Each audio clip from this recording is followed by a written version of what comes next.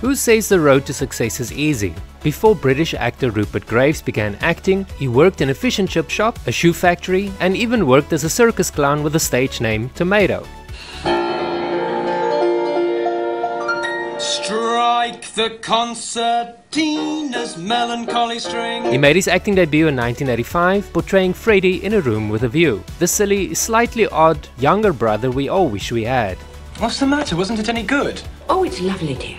His next role was in 1987's Maurice, or Morris depending on your dialect, another James Ivory directed adaptation of an E.M. Forster novel starring Hugh Grant and James Wilby.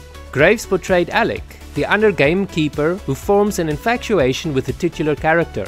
And no, wait, I'm not gonna spoil that for you. If you haven't seen this movie yet, I suggest you watch it and find out for yourself what happens between Alec and the titular character. Graves has continued acting in the years that followed, mostly in British movies and TV shows, but audiences who fell in love with him back in the day won't easily forget him. Do you remember Rupert Graves? Let me know in the comments. Thank you for watching this video.